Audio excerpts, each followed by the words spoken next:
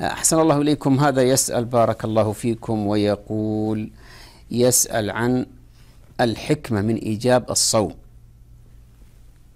الحكمة من إيجاب الصوم؟ نعم. أن الصوم يسبب التقوى. جميل.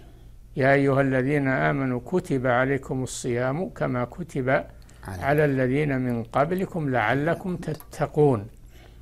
الصوم يربي على الأعمال الصالحة على حفظ اللسان على حفظ الجوارح على حفظ الوقت فهو يربي الأمة على ذلك. نعم.